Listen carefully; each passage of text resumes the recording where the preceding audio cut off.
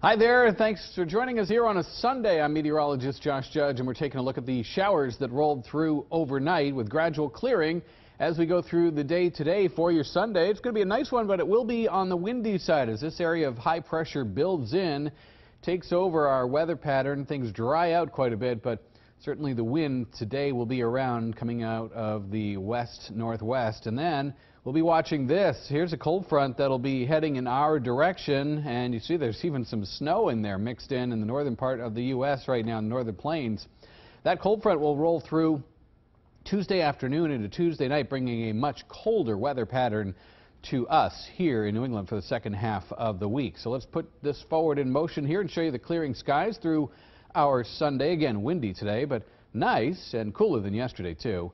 Another chilly night tonight with winds slowly diminishing and plenty of sunshine for Monday. A few clouds may brush across the sky during the midday hours to the north and west. Otherwise, mostly sunny, much lighter winds for the day tomorrow. And then on Monday, we start off with some sunshine. There comes that front I was mentioning. It brings uh, some showers into the Granite State in the afternoon and uh, colder weather that arrives on Wednesday. So for today, those temperatures will top off of the 50s in northern New Hampshire with some extra clouds in the mountains and 60s around southern New Hampshire, either side of 60 in the central part of the state.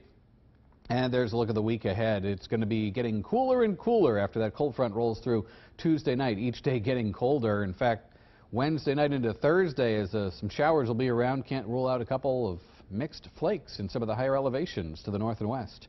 That's your forecast. Thanks for joining us, and I hope you enjoy your Sunday.